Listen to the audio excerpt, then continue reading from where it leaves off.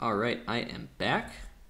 This will be sort of the companion piece to the uh, batter stats video. Today we'll be looking at pitchers, and instead of going uh, maybe off the cuff with my searches, I've actually just shortlisted a few people that I want to look at. Uh, this is still that same save. We're at the end of 2019. So first pitcher I'm going to look at is Corey Kluber. And uh, when I look at a pitcher if I want to really get a good idea of what kind of value he's given the team um, for the year, I I will honestly just look at like innings pitched and ERA. Those are two I'm going to look at for sure because it's very important to. Um, if you have a pitcher who's a stud, you want to make sure they stay healthy. You want to make sure they get a lot of innings, and 200 is a lot of innings in today's game. I think anything over 180 is uh, a pretty damn big workload. So we see that Kluber as a starter has been able to shoulder this big workload. Uh, he's getting you know 200 innings plus these last three years from 2017 to 2019. That's terrific. Um, yeah, and then ERA, very simply the rate at which you allow earned runs. Uh, your average ERA is going to be about four and a half anything at about three or below is going to be pretty elite. So you can see 2018 347, 2019 284, uh, really good pitching. Uh, and then um, so after that we have WHIP. I do like to look at WHIP.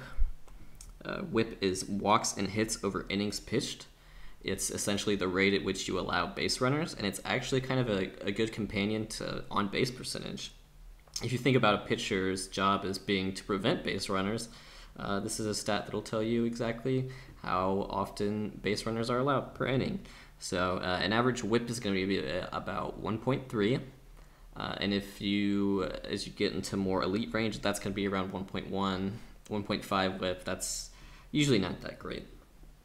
So um, as you can see, 2017.87, best in the league, 1.15, still really good. 1.04, yeah, it's just fantastic stuff. So, um, yeah, that's what that stat means. Uh, it's one you'll see a lot on some sort of like the newer baseball shows. Like if you're watching MLB Now or whatever, they'll talk about what someone's whip is. So that's what that means. Uh, another thing I want to look at is uh, home runs per nine innings, walks per nine innings, and strikeouts per nine innings. Um, you don't need to necessarily get a lot of strikeouts to be a good pitcher, but it certainly helps. Those are just balls that aren't going to be put in play when you strike someone out. Um, and Kluber has a fantastic strikeout rate, 11.7 to 10.4 to 8.5. So it's actually it's dropping off uh, as he gets older, but that's okay uh, because he's keeping the walks down. I like to take a look at how many you know strikeouts uh, someone is getting versus how many walks they're getting because there's a lot of pitchers who strike a lot of guys out, but they walk a lot of guys too and that's a little uh, counterproductive. But Kluber doesn't have that problem. He he walks very few hitters, as you can see, 1.6, 1.9. These are very much at the lower range of what you would expect. A, a bad um, walks per nine inning would be anything above like four. Anything above four, that's you're starting to sort of lose control there. And then home runs per nine innings, good home run prevention as well. He's keeping about one per nine inning. Um, and these three stats right here uh, are the component stats of uh, an advanced stat that's called fielding fielding independent pitching or FIP for short. And we can actually take a look at his uh, FIP, fielding independent pitching. We go to view under his pitching stats and expanded pitching stats too. Uh, this is also very easily, perhaps more easily viewed in the context of the pitching screen itself. So, um, fielding independent pitching, 2017, it was uh, his best over these last three years. That's 2.59. Fielding independent pitching is um, built on the same sort of scale that earned run average is, where uh, 4.5 is going to be about the average. You know, three anything like three or below is just going to be elite. So 2.59, 3.16, 3.28. These are both. Uh, I mean, these are all three very good fielding independent pitchings, but it does suggest that uh, he was better in 2017. Um, so how fielding independent pitching works is it essentially just looks at your home runs per nine innings, walks per nine innings, strikeouts per nine innings. There's a whole formula. I don't know it, uh, but it's just those three numbers, and it spits out your fielding independent pitching. Uh, so it, if you think about it as just uh, it's as the name says, it's this is pitching independent of fielding. No fielding involved when you surround, surrender a home run. No fielding involved when you walk someone. No fielding involved when you strike someone out. So, um, having quality fielding or bad fielding behind you can affect your run average a lot. So, um, fielding independent pitching is uh, a good way to look at a pitcher, although it does have sort of its uh, limitations, and we're going to explore that uh, in this video. But yeah, as you can see, good fielding independent pitching, and his wins above replacement 7.5, 5.4, 5.5. Uh, all really good. 2017 being his best, and I would agree. 2017 was his best of these last three. That's 200 innings with 2.25 ERA, 0.87 WHIP. Uh, great year. Uh, I'll also just call attention to batting average on balls and plates. Fluctuated a bit here. Um, he's 260s these two years, but 3.28, and that's um, you know from a luck perspective could explain why that ERA is has gone above three. Uh, yeah, it's just something to look at.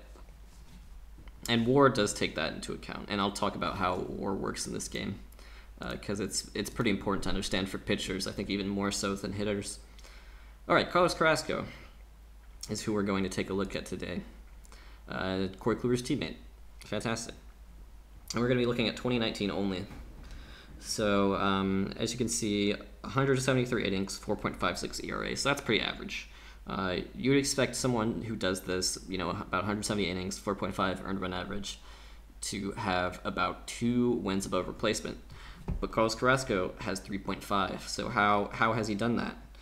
Well, let's take a look at his strikeouts per nine innings. 9.4, that's good. Walks per nine innings, 2.0, that's really good. Home runs per nine innings, 1.3, that's still uh, pretty good. So even though his earned run, at, oh, wow. Let's talk about ERA plus. Uh, yeah, this might be a video you, um, if you're really not familiar with these numbers, you might want to watch a couple of times. I'm, I'm trying to make these concise, but at the same time, uh, it's also important to be thorough.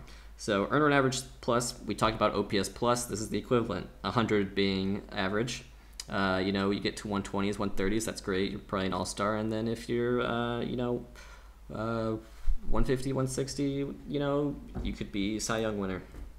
So uh, very similar, very similar scale. So his earned run average plus 104, and that is, um, yeah, uh, right around average, just slightly above average. So everything about this season says average if you look at his ERA, innings pitched, uh, earned run average plus. So the question is, how does he still have three and a half WAR? So, um, out of the park baseball uses what's called F-WAR, uh, which is short for Fangraphs WAR. Fangraphs being a baseball advanced statistics sabermetrics website slash blog.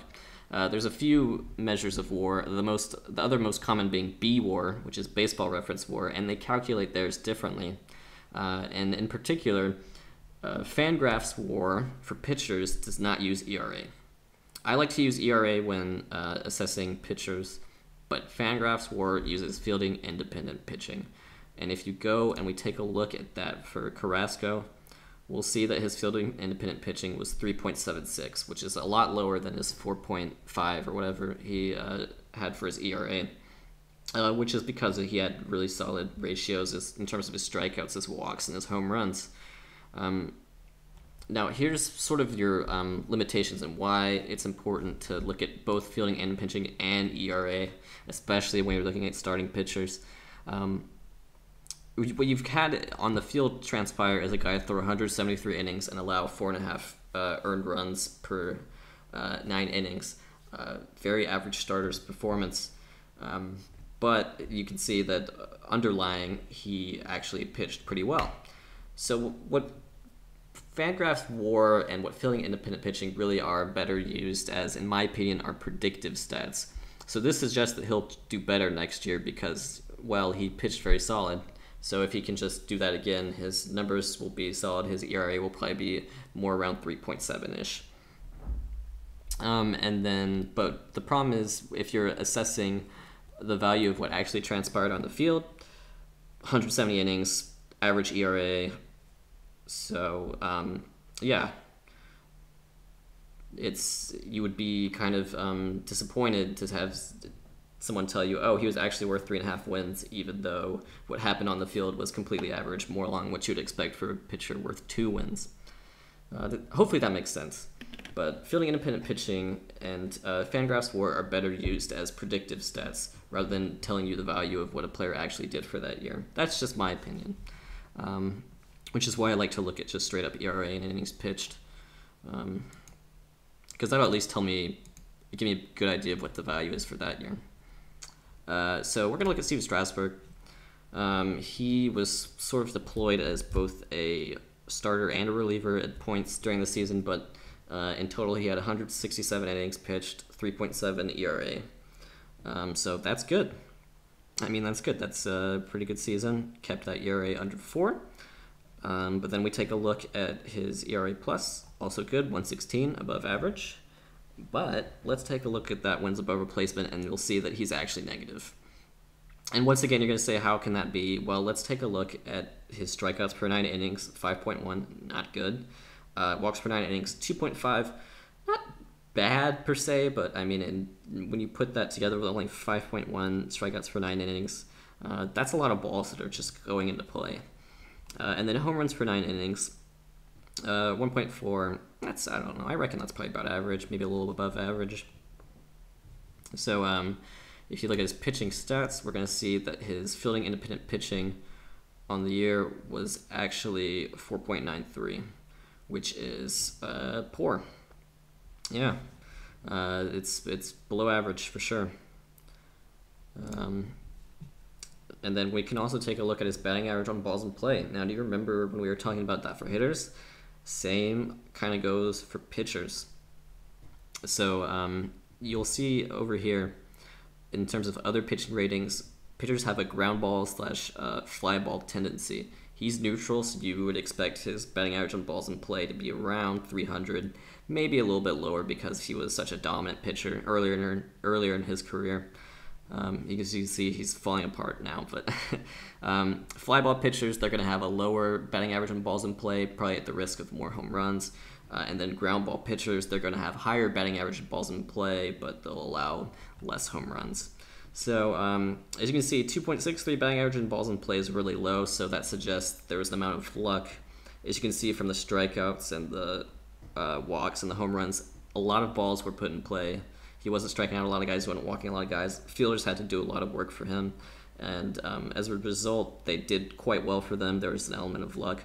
So it's suggesting that he's basically getting bailed out by good fielding and some luck. And that's what this war tells you. Now, what transpired on the field 170 innings pitched, you know, 3.7 earned run average.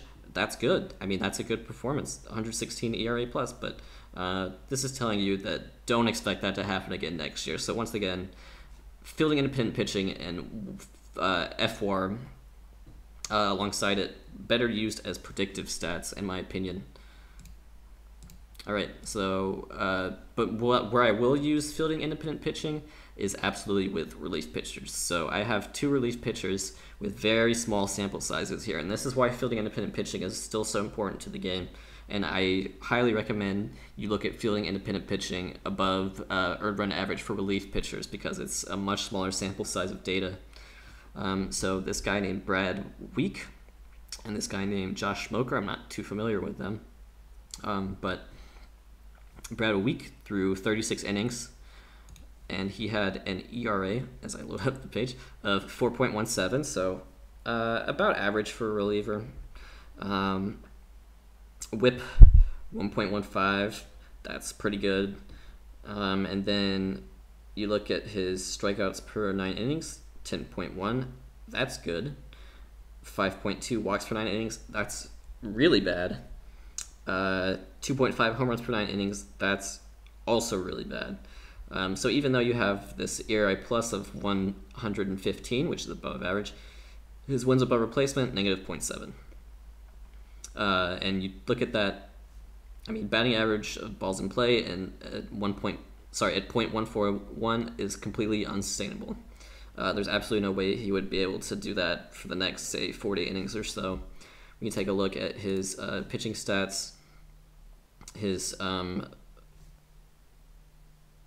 where is his okay yeah his fielding independent pitching 6.28 uh, really bad. So if I had a pitcher like Brad Wieck on my team, where he's thrown this 36 innings, where he's appeared to be getting very lucky, I, I would either send him down to AAA, or I would um, he would have such an incredibly short leash where the moment he sort of starts to regress to the mean, I know it's going to go to shit. So this is a guy, even though you're looking at this 4.17 ERA, this 115 ERA plus, you would have to be so incredibly weary of. Um, and that's why it's so important for assessing relievers. Um, if this guy comes to me and he's and he wants a contract extension, he's probably not getting it at the end of the year because I know deep down he didn't pitch all that well, even though a lot of the surface stats say so. Josh Smoker, 28 innings pitched. Uh, we're looking at an ERA of 3.49. As you can see, 10.8 strikeouts uh, per nine innings. Uh, very good. 3.5 walks per nine innings. That's much better than uh, what we had. And then 0.6 home runs per nine innings. That's great. Um, so he ends up with 0.5 WAR, uh, 123 ERA plus, and if you look at his uh, pitching stats, I am going to go to view expanded pitching stats 2, once again to view uh, FIP, fielding, fielding independent pitching, he's 3.07. So this basically suggests that this guy pitched well and he um, is going to continue to back that up. Um, so this is a guy that I would have more confidence in, even though his numbers really aren't that different on the surface uh, compared to the other relievers. So that's sort of the lesson to be learned. So definitely look at fielding independent pitching for relievers. As you can see, his batting average on balls in play 3.92, unlucky. So um, if anything, we would expect for him to get better in the coming innings and in the coming years. So that's sort of your lesson to be learned. Um, fielding independent pitching and F-WAR, they have their weaknesses when it comes to assessing starting pitching, and you have to be aware of those, but they also really has their strengths when it comes to assessing relievers. As far as predicting future performance, um, I would definitely look for fielding independent pitching uh, more so than looking at someone's uh, ERA for the next year. All right, so we've learned some uh, new stats. We've learned about WHIP. We've learned about strikeouts per nine innings, walks per nine innings, home runs per nine innings. We've talked about ERA. We've talked about FIP. We've talked about F-WAR, which is the WAR used in this game, short for Fangraphs WAR. We've talked about batting average and balls in play and how that can affect pitchers as well, it's just as much as hitters. And uh, yeah, I hope this was uh, very informative. And uh, yeah, I'll be back with a, another video very soon. I'm going to continue to pump these out pretty regularly. And uh, yeah, I will be back on the subreddit uh, when I have an, my next sort of batch of videos. I don't know if that'll be three, four, or five, but I think that's more, I think that's better than just flooding the subreddit with YouTube links. All right, well, I will talk to you guys later, and I hope you enjoyed the video, and I hope you're enjoying the series so far.